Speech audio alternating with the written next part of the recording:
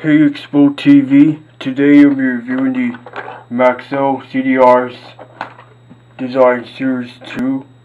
Cool people is address will be plain all blank CDRs. You get these cool color walls. Uh, white folder designs I think. Um actually five folder designs. So picked up a three pack of these for ten dollars. So there might be a little bit more expensive stuff, but blank ones too. Pretty sure there's a custom. Different colors to designs you get. Well, their work is every in their CDR. Um, so, it's up to a little bit of play with your CD, especially for zero number gifts, you can uh, Really, so you can have those cool CDs. CDRs are not gonna use this boy in blank.